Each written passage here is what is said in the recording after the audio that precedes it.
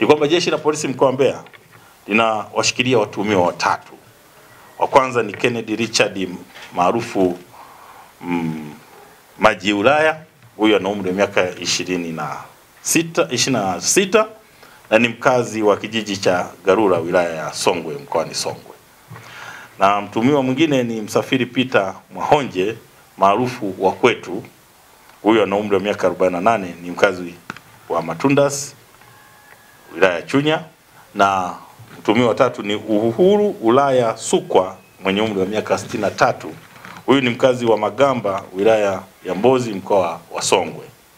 Hao wote wameshikiliwa na jeshi la polisi kwa tuhuma za mauaji ya mfanyabiashara mmoja wa madini ambaye anaitwa Peter Bruno Mteta mwenye umri wa miaka 60 59 mkazi wa Matundas wilayani Chunya ambayo yalitokea Oktoba 12 mwaka 2024 majira ya saa mbili za usiku na mauaji hayo yalifanyika kwa kumpiga risasi mgongoni akiwa nyumbani kwake.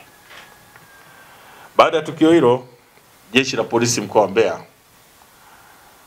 ikitumia kikosi chake maalum cha ufuatiliaji wa matukio makubwa liliweza kuanza upelelezi chini ya mkuu wa upelelezi wa makosa ya jinai na kuanza ufuatiliaji wa tukio hili, na ilipofika tarehe moja mwezi wa kumi na moja mwaka elfu mbili na ishirini na nne huko katika kijiji cha Ubaruku kilichoko katika wilaya ya Mbarali mkoa Mbeya, watuhumiwa wote watatu walikamatwa kuhusiana na tukio hili na wakiwa na silaha iliyotumika katika tukio pamoja na risasi ambazo zilikuwa zimebakia ambazo pia walikuwa wanaendelea kujipanga kwa ajili ya kufanya uhalifu mwingine. Ndio silaha ambayo ilitumika katika tukio la mauaji.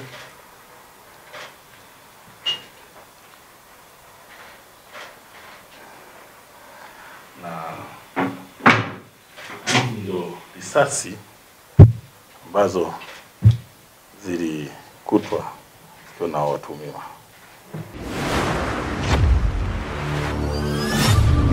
Wasafi Festival 2024. Wewe hajachema bado mpaka wachema. Wasafi Festival sponsored by Serengeti Premium Light, Wasafi Bet, Pepsi, Tulia Trust na Precision Air.